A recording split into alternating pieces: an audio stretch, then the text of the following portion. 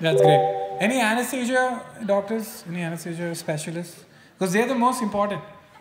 None of these doctors matter because they'll be like, oh, oh, where's the anesthesia? She's coming. She's coming. Calm down.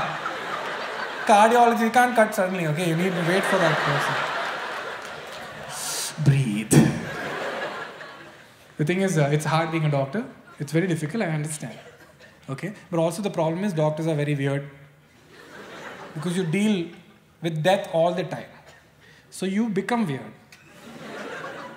My friends whose parents are doctors know, when I have to go in the car with them, they to never get angry in traffic. Which is very weird. How can you not get angry in traffic? They should just be calm. They should be like,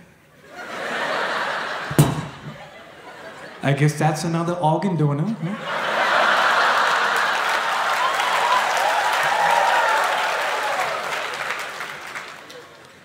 Because you deal with death all the time, it's not a big deal.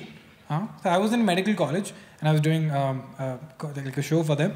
And the, the campus, the stage was in the middle and the buildings were around. And I'm performing, and I noticed half the audience was leaving and then joining again. And then half left again and joined. And I was like, what's going on? So I addressed it. I was like, uh, what's going on? Why are you guys leaving and coming back? And the medical student was like, actually, they have operations. so we're doing that and we're coming. I was like, please finish what are you're doing. You're not making a sandwich. You can't let the cheese marinate. Put the top part, please. You can't just be operating like, hey, Kenny's uploaded a new video. Just checking. What does that smell? Oh, it's intestine. Okay, just, please close it. Just close the lid. I think when you put in fridge, also you close. But you're damn weird. You know, I can't blame it. That's why doctors, if you notice, only marry other doctors. Yeah, because you have to keep the insanity in the same community. Yes. So they procreate and they feel, mm, I feel emotions, mm, computing. but I, I, I don't blame them, you know, because they don't have time. Like medical students is studying all the time, crying, you know, they just, they don't have time. People who do have time can't find love anywhere, right? They don't have time, so how will they find love? Where do they find love? In a hospital. So they find love in a hopeless place. Yeah. It's very easy to find love like in conducive environments, like a wedding. Wedding is lovely. You go to a wedding, everyone's happy, there's flowers, there's music. So you're like, mm, even I want. this is nice. I don't want to do the work, but I want this. Where do you get? Where is the stall? Is there a stall? Is there a stall? Is, where do doctors have to find love? In the hospital, right? And the hospital environment is into 4,000. While they're like wheeling in a body with like blood everywhere, two doctors like, oh hi. Oh, yes. it's difficult to find love.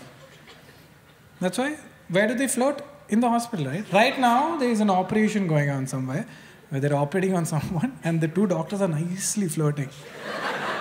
You think that's not possible? Of course, they're human, right? Like barely, but they're human. This guy in the center just like lying with local anesthesia because general anesthesia is too mainstream. Just waiting, and the two doctors just floating away.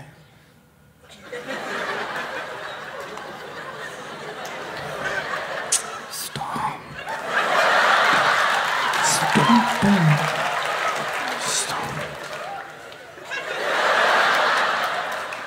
Focus.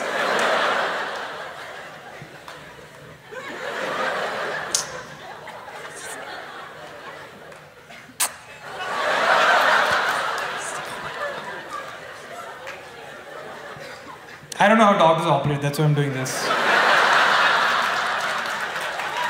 I'm guessing it's like touching bread.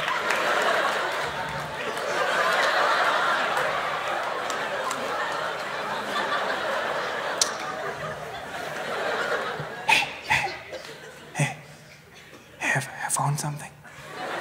What? What did he find? I found a tumor. What? You found a tumor?